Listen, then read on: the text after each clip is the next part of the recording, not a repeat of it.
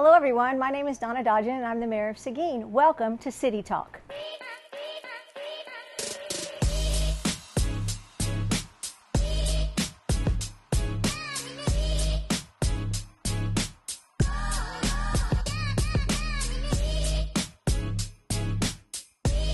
Today at City Talk, we're at BS Brewing talking to Brian about everything he has going on, and I want to invite everyone on out. Hey, how are you today? I'm doing fantastic. How are you? Good. It's so exciting to be out here, and I understand that this is actually 10 years. We have been here for 10 years. It's been amazing. It's been a fun ride for sure. So tell me the history and how you started and what your goals and your dream and what. Well, when we first started out here as a brewery, uh, we were just distribution. We've had our beer on tap from San Antonio all the way up to Dallas and to Houston. And we tried playing that game for a while. And once the laws changed and became more friendly for brew pubs, we did a quick round turn and opened up. We started building this place out as a tap room. Um, and then you mentioned our pecan ale with honey. That's Yeah. uh, one of our flagships. Is what we started with. Right. Um, I remember that. We actually have a national gold medal for that beer. We use real pecans, real honey. And then the burger in front of you is our uh, BS burger. And uh, we're real proud of our beef. We fresh grind it every week. It's a blend of ribs, shoulder, and brisket. And you make your own mayonnaise. We do all of our sauces are made in-house. In-house sauces. Um, I mentioned the one app here, the loaded fries. We also have fried pickles, fried zucchini, and our jalapenos and nopales.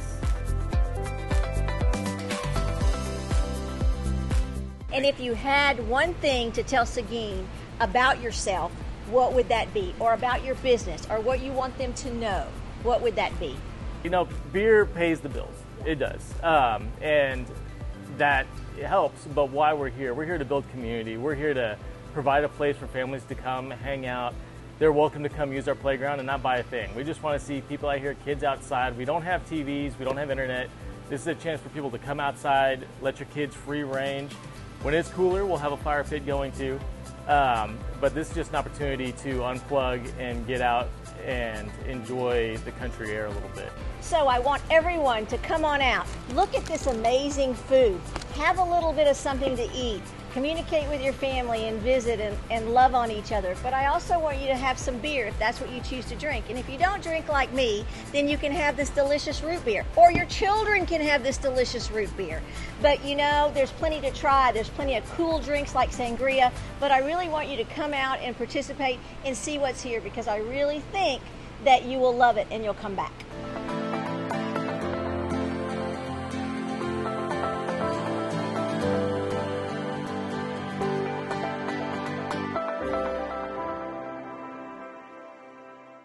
I just want to remind everybody that this Saturday from 11:30 to 2 is our Sonia Mendez's benefit for our own little Sonia.